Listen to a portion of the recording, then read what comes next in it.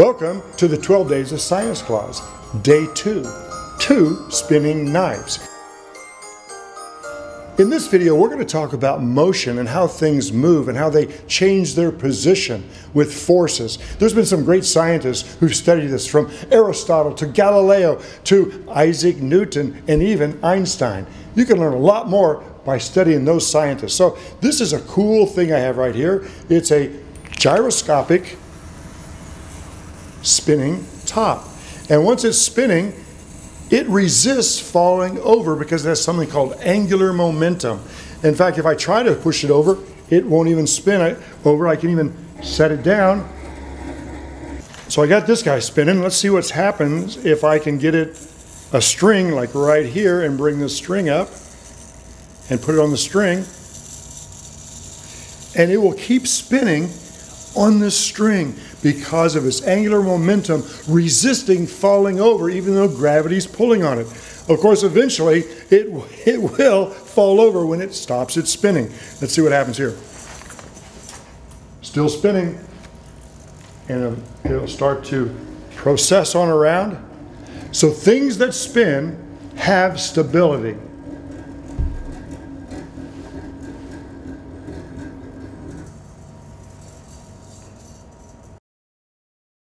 So things that spin are supposed to be easy to keep in the air. I don't know how good I am at this. Let's see. If I get it going and get it going and get it going, uh, not too bad.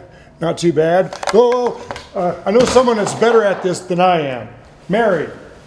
So once we have it on its axis, this momentum is going to keep it right where it needs to be. And we can go up, we can go down, and it's going to stay on. But if we go sideways, it's going to fall off.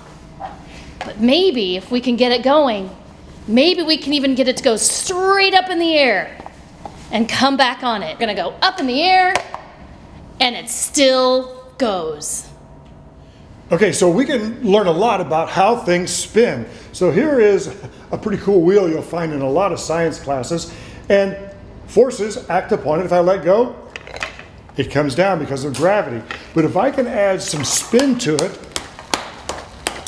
now we're getting something called angular momentum, which is pretty cool. This should stay in this position, but then torque around and it stays upright.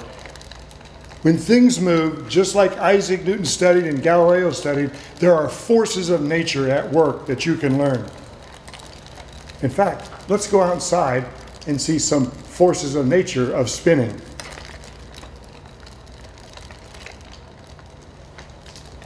So, when you spin around like this, there are forces of nature acting upon you. And these have been studied by a lot of people. So let me see if I can stop here. And what's going to happen if I add some more mass and I hold these out, I should go slow because now I have a large rotational inertia and my velocity or my spin is kind of slow. But watch what happens when I change this. Ready? You see me spin up and I can slow down by moving these weights. Now, this is a force you need to know. What will happen if I add more weights, more mass? Here's some some 20 pounders. Let's see, here we go, right? There we go. Wow, this is a lot. I better start with them out and I'm going pretty slow velocity until I bring them in. Whoa! Better slow it down or bring them in. And you probably have seen this on television.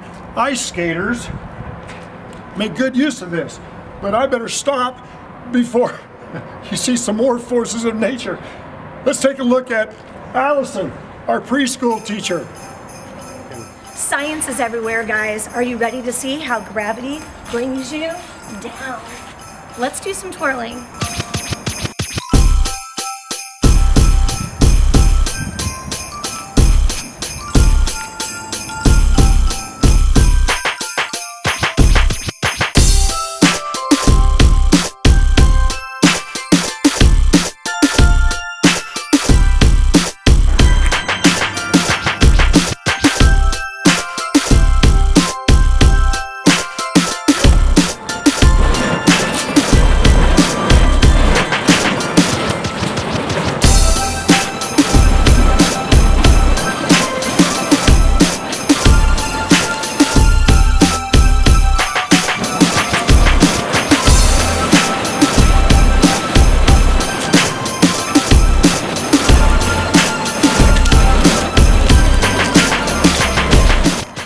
this is day two of motion, we gotta do two spinning knives.